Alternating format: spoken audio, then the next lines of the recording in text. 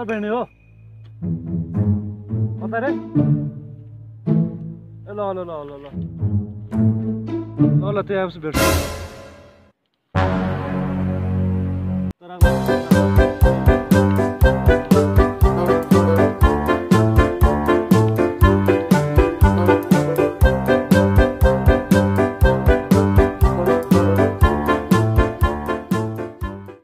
महाकसम Oppo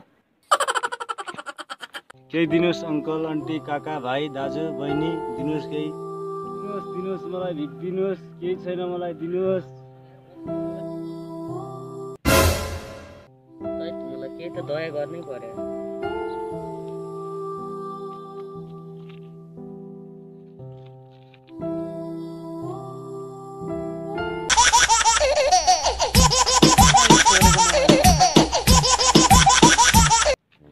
hello hello अनके दुजु पाँच रुपियाँ मात्र पुगेन के पाँच रुपियाँ पुगेन एक सय पनि पुगेन कि पैसा दुजु एक सय रुपियाँ त मसँग छ त ल त्यो पनि यार। पाँच रुपियाँ मात्र पुगेन अनि दुजु ल ल म गरिदिन्छु पाँच रुपियाँ है ल अहिले एकछिनमा फोन गर्नु त दिनुहोस्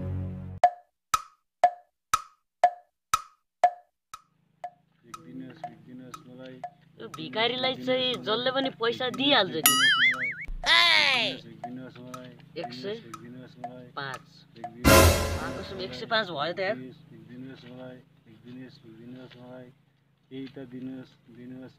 हेलो दाइ अँ एक सय पाँच चाहिँ भयो है।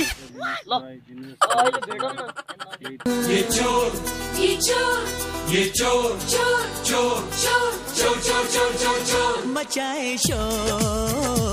ये चोर चोर चोर मचाए शोर।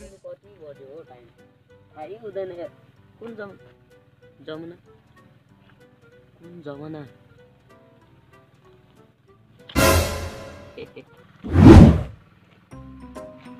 ल त्यो त मेरो भाइ यार। कहिलेदेखि चोड्न थालेछ? ओइ भाइ ओइ यता आइज न। कस्तो मुला आवाज जस्तो। भाइ किन?